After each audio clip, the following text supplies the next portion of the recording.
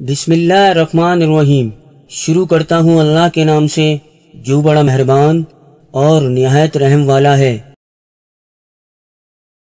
हज़रत साहल बिन साद रज़ी अल्लाह अनु बयान करते हैं। रसूलुल्लाह सल्लल्लाहु अलैहि वसल्लम ने फरमाया, मैं औस पर तुमसे पहले ही मौजूद रहूँगा। जो शख्स मेरे पास से गुजरेगा, वो इससे पिएगा, और जिसने पी लिया इसे कभी प्यास नहीं लगेगी। कुछ लोग मेरे पास आएँगे, मैं इन्हें पहचानता हूँगा, और वो मुझे पहचानते होंगे। फिर मेरे और इनके दरमियान रुकावट खड़ी कर दी जाएगी।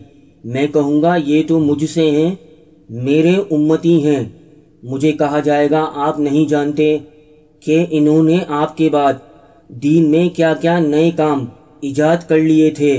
मैं कहूँगा, उस शख्स के लिए मुझसे दूरी है, जिसने मेरे बाद दीन में तब्दीली कर ली। तो दोस्तों हदीस के हवाले नीचे लिखें, और अल्लाह रब्बुल इज़्ज़त हर मुसलमान को अहदीस पर अमल करने की तोफ़ी अता फ़रमाए। फेसबुक और व्हाट्सएप पे ज़रूर शेयर करें, और अगर चैनल को सब्सक्राइब नहीं किया है तो सब्सक्राइब कर लें। अस्सलाम वालेकुम